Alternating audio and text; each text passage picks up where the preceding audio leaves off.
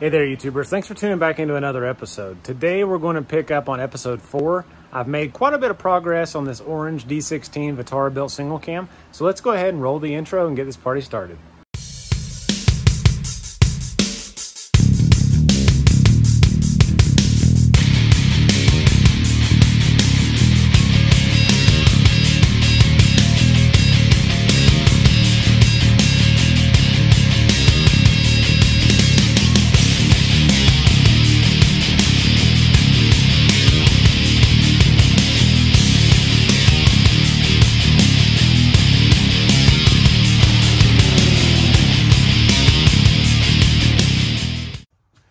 So guys, our head is partially on the car. I've got the turbo kit basically mocked into place so I could route for oil, uh, feed, and return, and go ahead and mock up some intercooler piping. So what we've learned at this point is we're waiting on my battery-powered impact to charge so I can remove the crank and we can time this thing and finish putting it together.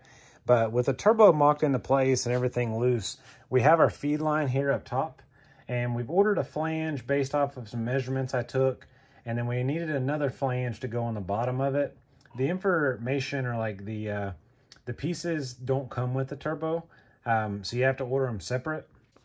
We tried to resave or like um, reuse some of the fittings that came off of the uh, the previous like 35 eBay turbo, the 3582.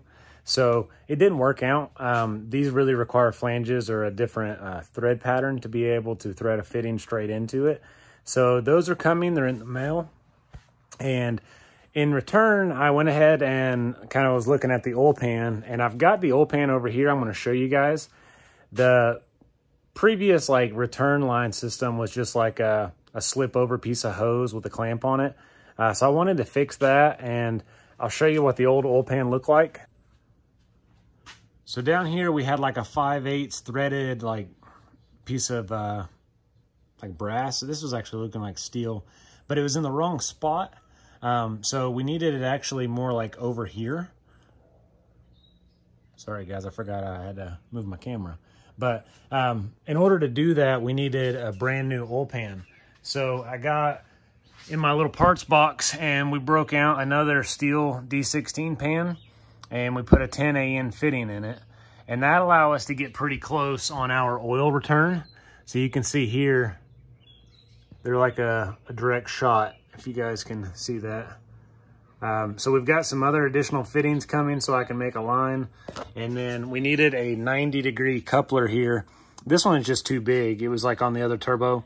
Um, so we need like a two and a half to two and a half, and then we'll be back in business. Previously, I mentioned to you guys that we were going to do, I think, a fuel line. So I built the line off camera. Um, it consists of 6 AN, uh, line itself, a couple swivel fittings, an inline filter, which is something you can pick up. You can buy all this stuff off Amazon, eBay. So let me show you what the final product looked like after I attached it to the car. So back here, guys, you can use a fitting and adapt it to the factory steel line, and then the whole shooting match is ready to go. So with that being the case, we're basically waiting on a couple things. Um, we're waiting on some fittings, some flanges, a coupler, uh, battery powered impact to charge. Um, and then we can time it and finish putting, you know, all the other accessories and pieces like the intake manifold on it. Um, I was trying to save myself as much room so I could work around it with it being, um, you know, I get to choose. So um, I didn't want to make anything harder on myself than what I needed to. But we've got everything cleaned up. Um, the head looks great. I got a lot of the little fittings put back into it earlier today, the water neck back on it and we're actually waiting on a VTEC solenoid. So the previous head that was warped uh, was actually a D16 Z6 head. Uh, the head that we got is a D16 Y8 head.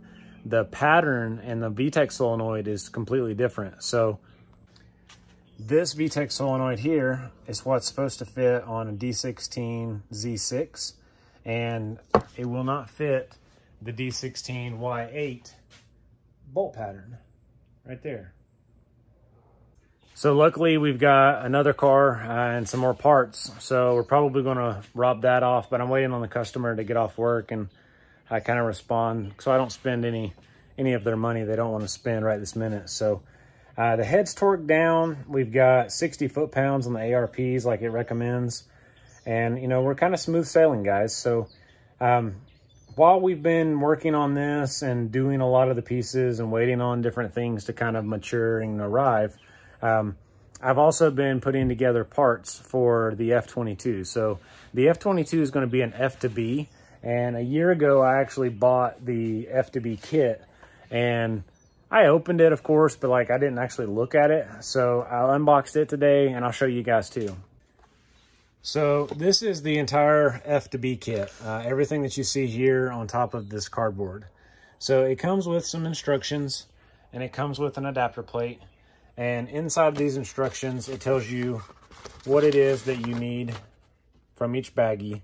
Uh, and then each one of them is marked. So like set C over here says, set is for the clutch slave cylinder bracket. Set E, so on and so forth. So while I was waiting on some other parts to arrive for this orange car, I ordered some clutch pressure plate bolts and a clutch kit. So we've got some items here. I'm losing my voice. But we've got some items here that over the weekend I'll probably work on so we can get the F-Series mocked up and ready to go in the car. But we're just kind of cruising along. Um, I've got a couple other pieces that kind of need to be um, put into place that we can do while we're you know waiting. But I've also kind of mentioned to you guys that there's an Integra that's going to be available on the channel. And I've got a couple pictures. Um, actually, I'll tell you what, I'll just ahead and turn the camera around. I'll show it to you. So guys, this is a two-door non-sunroof car. It's going to have the wide front end. The whole car will be one color.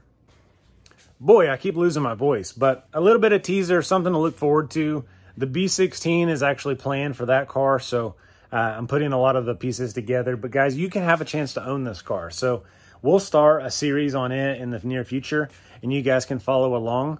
But until that time, it's all about the orange car and some of the stuff currently in flight. So guys, I wanted to give you just kind of a preview, uh, a preview, a brief update um, while I've been working and sweating in this heat. But ultimately, we're making some progress. There's a lot to come. This car is hopefully going to be wrapped up within the next 48 hours uh, as soon as I get some of these pieces. And then we'll aim uh, the exhaust through the hood and kind of conclude it. So guys, really brief. I appreciate you watching. Thanks for tuning in. We'll catch you in the next one.